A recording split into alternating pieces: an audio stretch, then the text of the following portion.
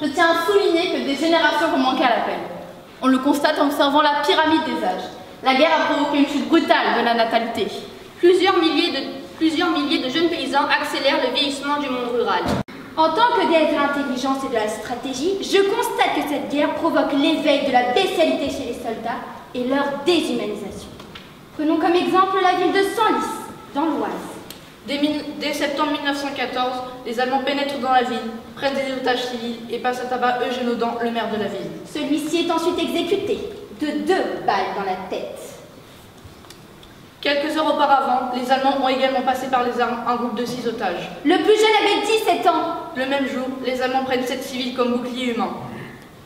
Parmi ces civils, une fillette de 5 ans. Le visage des morts et des mourants C'est la terreur dans les yeux de ceux que l'on tue la noirceur de ces actes est un signe propre de la déshumanisation et de la perte de dignité. Si tu savais comme je suis en colère, j'ai la rage contre les officiers, les généraux, et surtout contre le gouvernement. Car ils ne parviennent pas à trouver une issue politique au conflit. Et ils poussent de millions de soldats à mourir au front dans des conditions affreuses. Tu as raison, nous sommes là pour la liberté, pour l'égalité, pour la fraternité, pour la paix, pour notre patrie.